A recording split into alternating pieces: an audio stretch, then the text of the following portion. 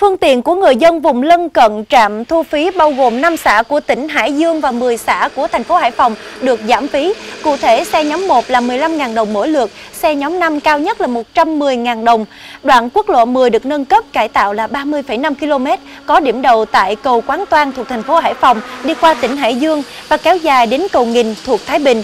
Đường quy mô 4 làn xe, đoạn ngoài đô thị thiết kế theo tiêu chuẩn đường cấp 2 đồng bằng, tốc độ 80 km trên 1 giờ. Trên tuyến có 3 cầu mới là Trạm Bạc, Tiên Cụ và Quý Cao.